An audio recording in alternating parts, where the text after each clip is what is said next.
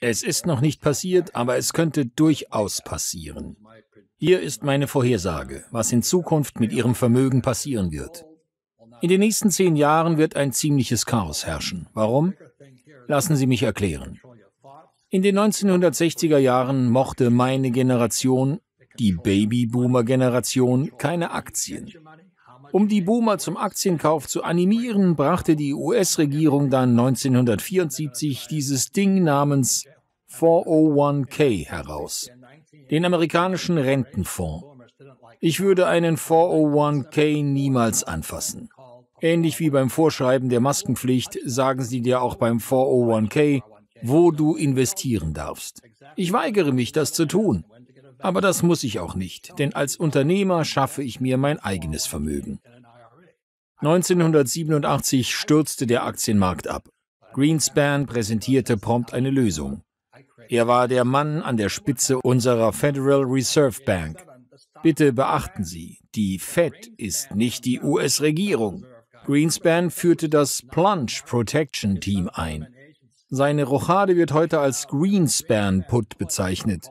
Im Grunde sorgte er mit dem Greenspan-Put dafür, dass jedes Mal, wenn Aktien abstürzen, sie automatisch vom Plunge Protection Team aufgefangen werden. Also sind Aktien seitdem de facto geschützt. Das gab den Boomern Vertrauen in Aktien. Wegen des 401k sind nun die meisten Amerikaner, die jemals ein Gehalt bekommen haben, an einen 401k gekoppelt. Sie besitzen dank des 401k Pensionsplans zumindest indirekt Aktien. Dann kamen die Kryptowährungen und machen seither unserem klassischen Geldsystem Konkurrenz. Dann entschieden die Zentralbanken dieser Welt während der Corona-Krise wieder verstärkt Gold zu kaufen. Sie vermeiden aber bewusst das Wiederankoppeln unseres Geldes an Gold. So lassen sie der galoppierenden Inflation bewusst freien Lauf. Denn das wiederum ist gut für den Schuldenabbau der Regierungen. Und jetzt wollen so ziemlich alle Zentralbanken digitale Währungen einführen. Natürlich nicht auf Blockchain-Basis. Nein, das würde ja die Inflation stoppen. Unsere moderne Geldtheorie ist ziemlich marxistisch. Die Konsequenzen in den kommenden zehn Jahren werden schrecklich sein. Das ist meine Vorhersage. Die Regierung wird irgendwann sogar unsere Gedanken kontrollieren. Sie werden kontrollieren, wie viel Luft wir atmen. Beim Digitalgeld kann man nämlich jede Transaktion nachverfolgen. Sie werden kontrollieren, wie wir an Geld kommen, wie viel wir verdienen, wo wir es ausgeben, wohin wir damit reisen. Sie werden alles über uns wissen. Das nennt man Totalitarismus. Ich weiß natürlich nicht, was die Zukunft bringt, aber ich vermute, dass wir uns in diese Richtung bewegen. Welche Investments schlage ich in Anbetracht dieser düsteren Aussichten vor? Gold, Silber, Kryptowährungen, Sachwerte. Gold ist eine gute Investition, weil alle Zentralbanken der Welt jetzt wieder Gold besitzen. Also werden sie nicht zulassen, dass der Goldpreis abstürzt. Sie werden alles tun, um sicherzustellen, dass der Goldpreis hoch bleibt. Das gilt auch für die anderen drei Edelmetalle, Silber, Platin und Palladium. Kryptowährungen hingegen können abstürzen. Da ist kein Sachwert hinterlegt und da wird extrem viel spekuliert. Aber Kryptowährungen sind nicht ohne Grund ein Dorn im Auge der Zentralbanken. Deshalb mag ich Bitcoin und Ether. Ich mag alles, was die Fed nicht mag. Ging es nach den Zentralbanken, wären Kryptowährungen schon längst verboten. Von China über Europa bis in die USA arbeiten nun alle Zentralbanken an digitalem Geld. Sie wollen den dezentral aufgestellten Kryptowährungen Konkurrenz machen. Die Europäische Zentralbank macht das ebenso wie die japanische Zentralbank und die chinesische Zentralbank weil sie alle keine Kontrolle über Kryptowährungen haben und Krypto so erfolgreich ist. Und das neu erfundene Digitalgeld der Zentralbanken wird selbstverständlich nicht limitiert sein. Ein entscheidender Vorteil für Bitcoin und Co.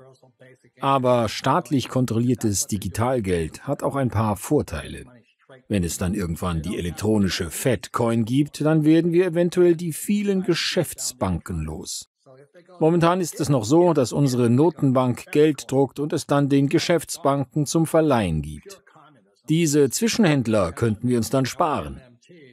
Wenn die Fedcoin kommt, brauchen wir eigentlich überhaupt keine Banken mehr. Kreditkarten, Immobilien oder Studentenkredite könnten verschwinden. Ich sage nicht, dass das passieren wird.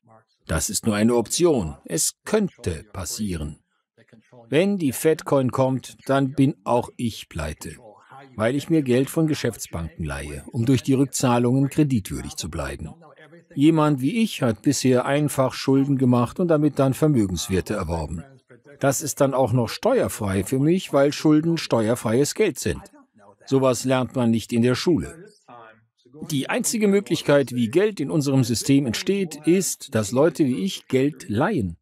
Es geht also nicht um das Geld an sich, sondern wie sie als Einzelner mit Geld umgehen. Und da gibt es so einige Möglichkeiten. Unser Schulsystem ist absichtlich so gestaltet, dass es uns nichts über Geld beibringt. Aber dieses Manko ist leider auch ein guter Nährboden für Marxismus und für kommunistisch garantierte Grundeinkommen. Stimulus-Schecks sind nichts anderes als garantierte Grundeinkommen. Die Regierung tut so, als würden die Empfänger dieser Schecks nicht mehr in der Wirtschaft gebraucht. Das fühlt sich verdammt nach Kommunismus an. Einer meiner Kryptofreunde hat vorausgesagt, dass Bitcoin in den kommenden zehn Jahren auf 1,2 Millionen Dollar steigen wird. Das würde bedeuten, dass die Marktkapitalisierung von Bitcoin im Jahr 2031 bei etwa 250 Billionen Dollar liegen wird. Max Kaiser wiederum sagt, 250.000 Dollar ist das Maximum. Meine eigene Kalkulation sagt 228.000 Dollar vorher.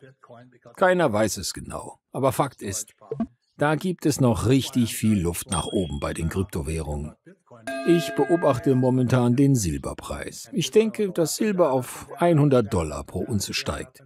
Und wenn das erstmal der Fall ist, dann mache ich eine Menge Geld.